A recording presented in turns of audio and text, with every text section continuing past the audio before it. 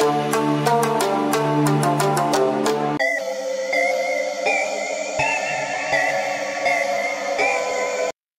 back everyone, after watching part 1 of this video.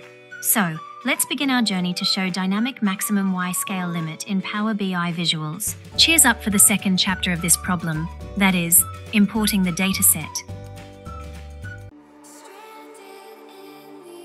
So, here is our sample sales data in Excel. Now, buckle up your seatbelts to head towards Microsoft Power BI Desktop to import this Excel data. In the report view, click on Import from Excel. After that, select the sales data Excel file and click on Open. Select the appropriate sheet and click on Load. Your data is successfully loaded in Power BI. So, your wait will be over in the next part, so stay tuned for this problem's content. Till then, bye bye.